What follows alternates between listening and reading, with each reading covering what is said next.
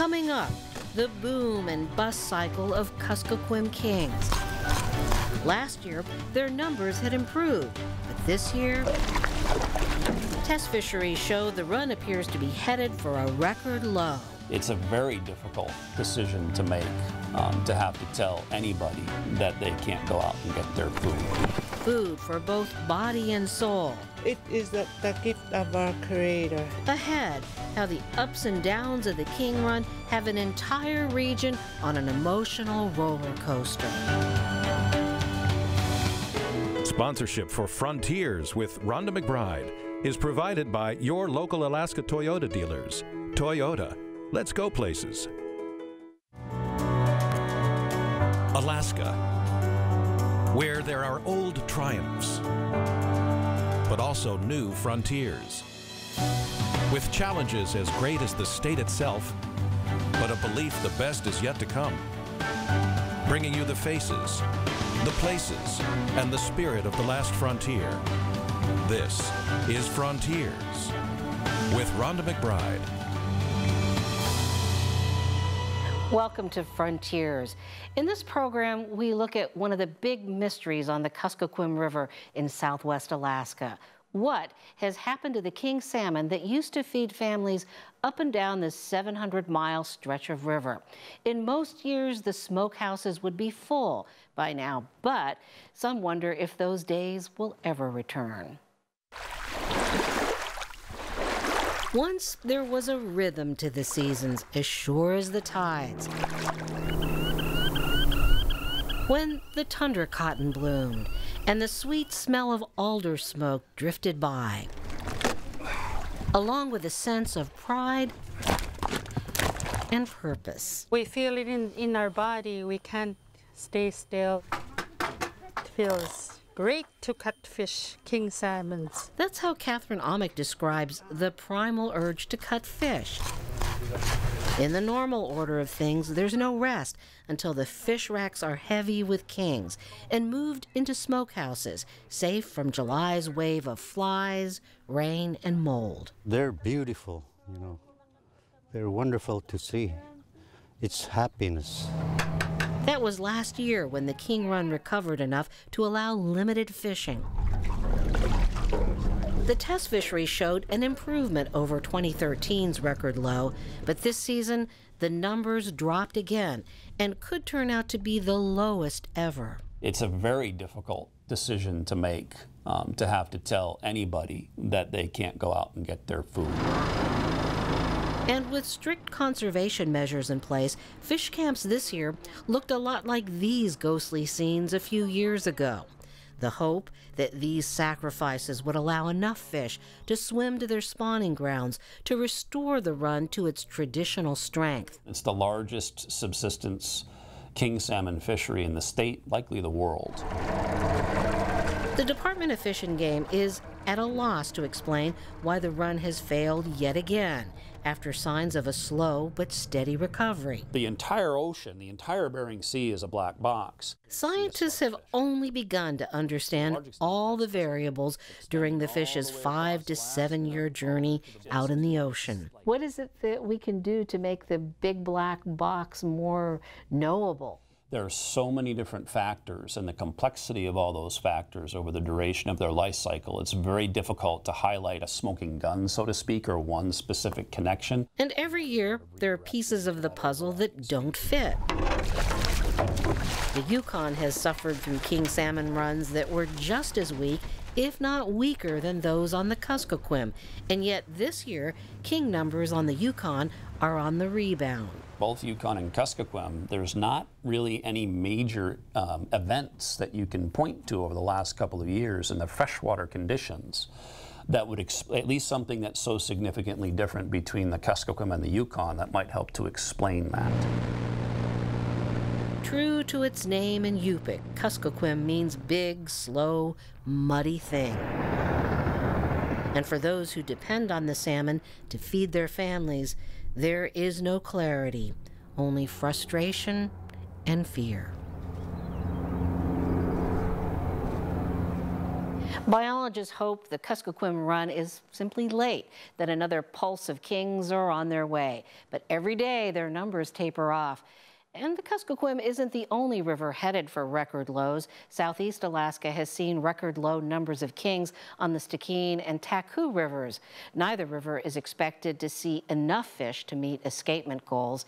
Kings from these two rivers make up about 80% of the wild king run in Southeast Alaska. Hatchery kings there are also down as well. Up next, what does the loss of a harvest mean? When it comes to subsistence, there's a lot more to it than meets the eye. Our guests have some insight on that. LaMont Albertson, a member of a fishermen's working group, and Katie Howard, a fisheries researcher. They have some theories about what's causing the kings to crash. Presents the sensations of summer. The perfect cars, trucks, and SUVs to get you to your favorite destinations. Like the all-time best-selling sedan in the world, Corolla. Recently named as an IIHS top safety pick. Every new Corolla now features Toyota Safety Sense as standard equipment. Add in Toyota Care, Toyota's no-cost maintenance plan, along with these great limited time offers, and you'll see why we call it sensational. Come drive a Corolla for yourself at your Alaska Toyota dealer or shop online anytime. Toyota, let's go places. If you're talking, they will hear you. Why are we getting killed like this? Kyle's not here. Got caught drinking beer in the park a couple of nights ago. Really? Yeah. Zero tolerance. He's out for the season. Harsh. Hey, he knew not to drink. We've made that clear to all of our kids, right? Uh, no, not really. Bill, if we don't tell them what we expect and why they shouldn't drink, how are they gonna know? Talk. They hear you. For more information, visit underagedrinking.samhsa.gov.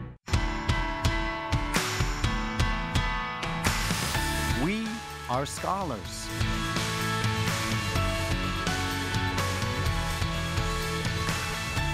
We are teachers. We are many things, but tobacco does not define us. It's a fact. Over half of Alaska Native adults don't use tobacco. For more resources on building a healthy life, visit anthc.org slash we are. It's always so much love here. It's the best part of my job that I get to help people. It just makes me happy to make other people happy. I have never used Tinder, but I imagine that's what it feels like to get a right swipe because that's what you do when you see someone in need. You help them. I swear I You're an American hero. 4 p.m. right before First Take at 5. Mark Zuckerberg of Facebook fame was in Alaska recently, and he shared some of his Alaska pictures on Facebook. These were taken on his trip to Homer and highlighted the importance of subsistence, which he called a social safety net. He said usually there's a stigma for taking part in a social safety net program, but he said, quote, here, everyone we met was proud of this, both for its cultural heritage and for individual accomplishment in catching and preparing their salmon.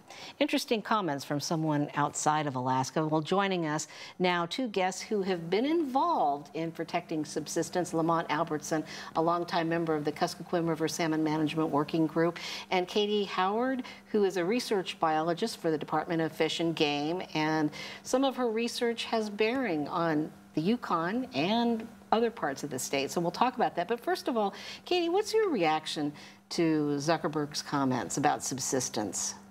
Well, obviously subsistence, especially in rural parts of Alaska, is is important. Um, there are a lot of places where there aren't grocery stores or the, um, the availability of food is, is really expensive. And so in Kuskokwim and Yukon rivers, for instance, Chinook salmon uh, subsistence accounts for 90% or more of the subsistence harvest for the entire state.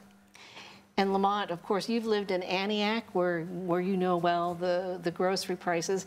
You know, it's interesting that Zuckerberg kind of recognizes the importance of subsistence as an outsider, but I think in Alaska there's a little bit of a disconnect from the urban and rural areas about how important this resource is.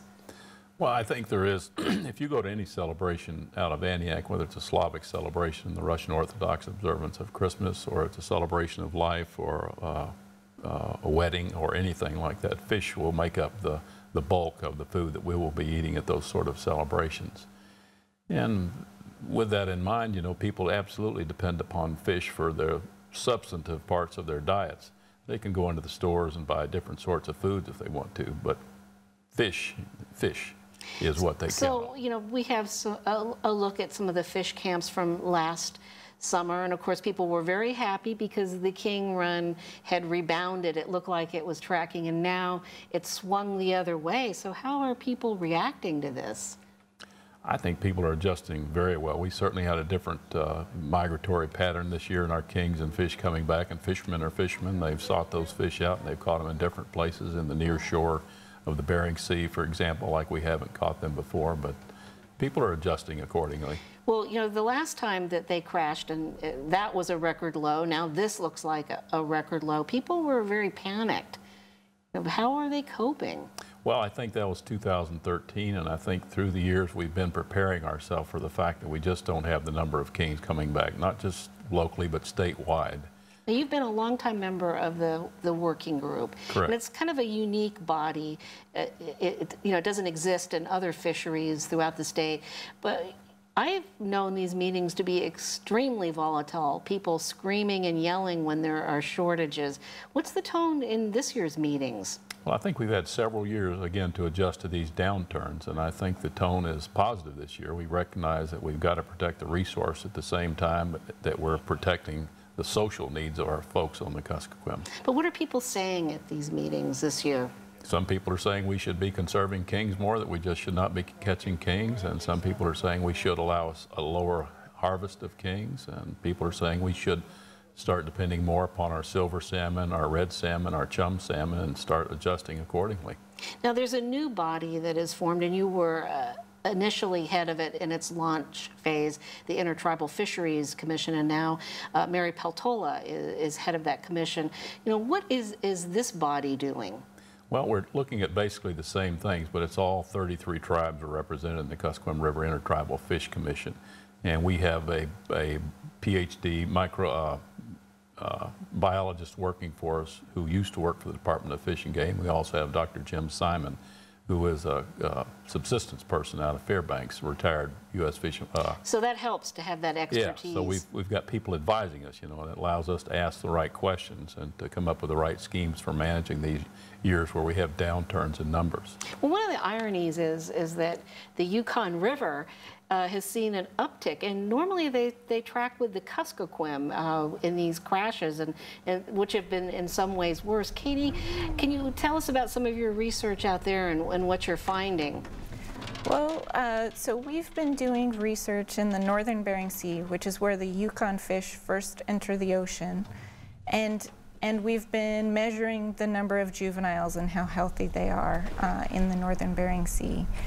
And what we've seen is we did expect uh, this uptick for 2017 for the Yukon because we saw a lot of healthy juveniles uh, in, in, previous years that would lead up to this. Now, what, what we're trying to understand is why the northern Bering Sea may be doing something different than the southern Bering Sea, where Kuskokwim and Bristol Bay Chinook salmon are first entering the ocean. So what are you seeing? You know, do you have any theories about why one area did better than another? Because they're so close. Yeah, so we're working with colleagues at NOAA and pursuing this idea that sea ice cover may be important to uh, the the entire habitat of the southern Bering Sea versus the northern Bering Sea. So in the northern Bering Sea, year after year, we have sea ice cover throughout the winter. But that's much more variable in the southern Bering Sea, where in some years you have warmer winters, you don't have the sea ice cover that you normally would. And so the idea is that Kuskokwim Chinook, for instance, might have um, more variable survival from year to year. They might have bigger ups and downs year to year. So sea ice, it, it seems to be mm-hmm. one of the key pieces of the puzzle, and you know we're told that it's shrinking.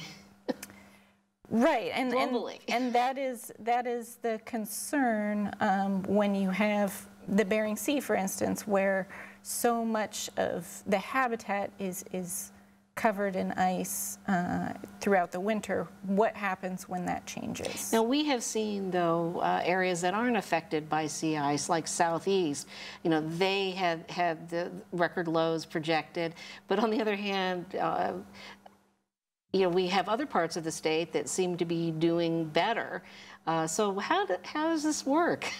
what does this tell you? Well, I think, you know, we saw this decline, you know, pretty much across the state um, for a number of years. And, and I, I don't think, even though we have seen some improvement in some stocks uh, in some years, it, it hasn't really bounced back to the levels that we've seen in, say, the 1980s. And so uh, it, I think uh, we're still in sort of an overall downward trend, um, but there is you know, some improvement in some areas. So I guess it all comes down to the big question, is this climate change? LaMont, what do you think? Well, I definitely think it's climate change. Anybody who's lived out there, since I've been out there since the late 60s, has seen a lot of change.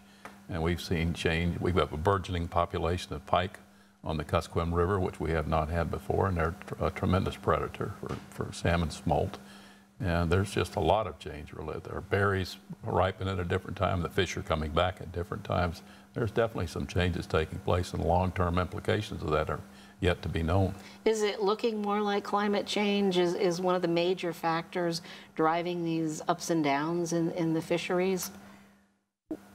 Well, it, it's hard to say um, because when you talk about climate change, it's, it's so complex. You're talking about temperatures, you're talking about you know, in interior Alaska, there are concerns about permafrost melting and how that might affect uh, spawning and rearing habitats.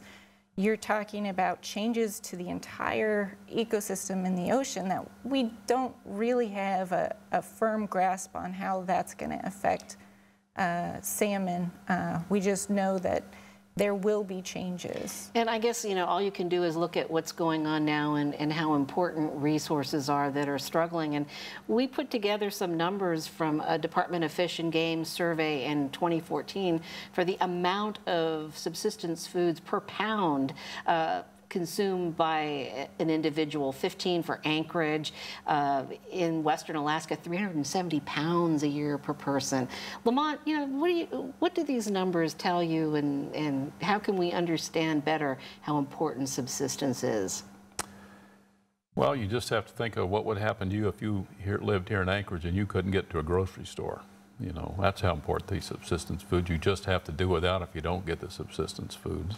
Now we have another graphic that shows you the value of that economically, if you could put a price tag on it. Uh, but for Western Alaska, 36 million. Do you believe that number? Is that out of bounds? I absolutely believe that. If you think about the cost of groceries out there and you think about the cost of our fish and our ease and getting our fish, not necessarily the ease, there's work involved, but the fact that we have those resources available to us. I have no question about that. I think some people would be surprised at how much fish is consumed as part of that poundage. And if you look at it at this graphic, it looks like about half of what people eat in Western Alaska in particular is fish. Absolutely right. You don't get hummus and crackers when you go to a social out there. You get strips and you get good fish from the summertime. That's absolutely right. We depend upon that food for all of our social occasions as well as our sustenance. You know, we've got such a debate about climate change. People who say that, you know, this is really not something, you know, that we should be looking at, that it's a passing natural thing. But what are the policy implications out here well, for what's going on?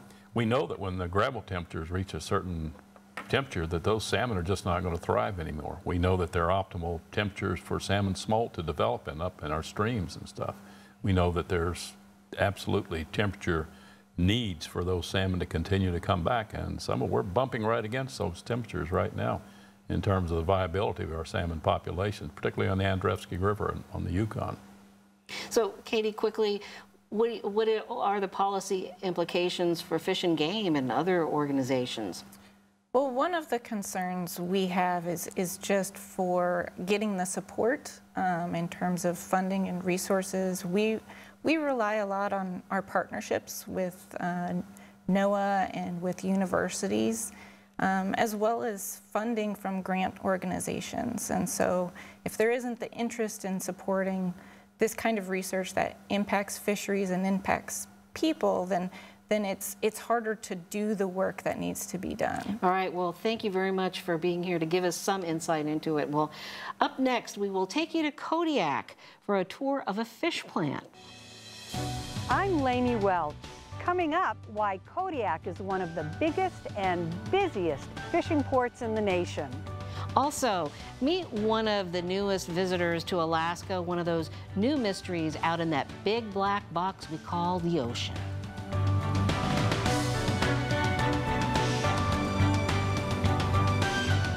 I just want cremation. No hidden costs, no add ons. Cremation is much more affordable. Dignified, ecological. I just want something basic.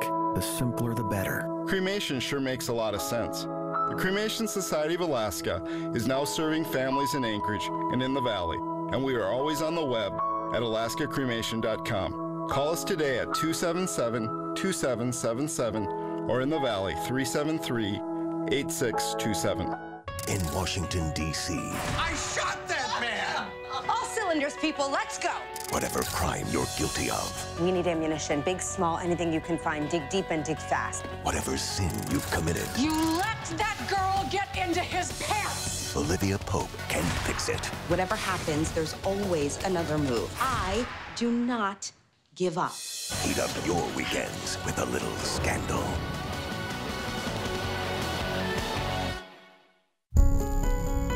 Got caught in an addiction and I couldn't find my way out of that cardboard box. It kept grasping onto me. Before I realized it, I couldn't stop using it. It becomes like a primal instinct. It's god awful. There's no relief, and it's always there. I needed a program that would really save my life, and I found Narconon. Narconon gave me my life back 100%. What is health? It's more than a number on the scale. It's in the water we drink and the air we breathe. It's reflected in our jobs, our climate, and our community.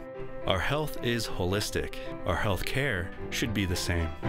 At ANTHC, we're providing clean water and sanitation around the state. We're working in partnership to make homes safer, healthcare treatment smarter, and fulfill our vision that Alaska Native people are the healthiest people in the world. One fishery is pitted against another, and that's been the case with the pollock industry, which catches salmon and other species in their nets accidentally. Fishing fleets have worked hard to reduce what's called bycatch, and for communities like Kodiak, pollock is one of the pillars of the economy. Alaska Fish Radio's Laine Welch shows us why. Many people are surprised to know that Alaska's fisheries start on January 1st and run throughout the year. And nowhere will you see that better than in Kodiak. This town runs on fish. You'll see that when we go across the channel to one of our big fish processing plants. The forklifts here are always on the move. The Topaz has worked for North Pacific probably for 25 years. Oh my goodness. Matt Moyer, the general manager of Alaska Pacific Seafoods, says you'll find boats like the Topaz here year round. So familiar, even the sea lions feel at home. They're cute, but they can do a world of hurt. And uh, so people really need to be mindful of that, give them lots of space. Right now, the boats are offloading pollock. Their numbers are at a 20 year high. We went five and a half weeks straight with a half a day off in that time span. That was in January. Steady year round work from Pollock has helped workers buy homes and put down roots in Kodiak. And it's great for the workers because they make a lot of money working seven days a week, and it's great for the town. This boat has landed about 300,000 pounds of pollock taken in an eight hour trip. Since the 1980s, pollock has added to Kodiak's portfolio of salmon, halibut, cod, and others, and helped weather the ups and downs inherent in all fisheries. Some things are going to be down, some things are going to be up, but uh, in combination, you know, it's, it's, a, it's a good, good resource and it's, and it's a good place to be in the fishery right now. Fish are headed to buyers from all over the world and are subject to a wide range of regulations. Every single fish is accounted for from the moment it's caught. If we have a buyer come to us five months from now and he says, well, we think we got a problem with this lot of fish, we can track that right back to the vessel. Today, much of the seafood processing industry is automated, which has helped to ease labor shortages. But running all the computers and specialized machinery requires increasingly sophisticated skills, and those jobs are hard to fill. Is Alaska rising to the challenge in terms of training a workforce? It's going to be a big challenge for the industry, and, and I think with that challenge, there's a lot of opportunity. Opportunities that are likely to be there in the future. We live in the epicenter of the, some of the best seafood in the world. Demand for Alaska pollock continues to grow in Asia, Europe, and the U.S. Customers want more fish sticks, surimi blends, and prepackaged portions. Speed is of the essence here. So this fish was caught yesterday. Um, it was unloaded uh, early this morning. And frozen and shipped by the evening. But before then, the pollock must be sorted and pass through an array of conveyor belts, what seems like a Rube Goldberg contraption. Every step, such as glazing before freezing, is designed to maximize and preserve the freshness of the fish. This batch of pollock is headed to China and Korea. Here it is going in the bag, stitched up, and there it goes in the pallet. It's already got a uh, label on it. Moyer says traceability and accountability are top priorities, as well as earth-friendly practices. The company points to windmills that help to provide nearly 100% of Kodiak's clean electric energy and power its fish plants. Pollock is Alaska's largest fishery, with catches often topping 3 billion pounds a year. So the next time you bite into a fish sandwich at your favorite fast food restaurant or serve up a batch of fish sticks to the kids, you're probably enjoying Alaska pollock maybe from right here in Kodiak. For Frontiers, I'm Laine Welch. So much of Alaska's livelihood depends on what happens out in the water. And there are a growing number of signs that our ocean is changing. Scientists have been puzzled by the appearance of these strange sea creatures known as pyrosomes. Typically, they colonize in tropical waters, but they turned up in fishing nets near Sitka. Now, they've been working their way north, but researchers say this is their first documented appearance in Alaska. And that'll do it for this edition of Frontiers. Thanks for joining us. We'll see you next week.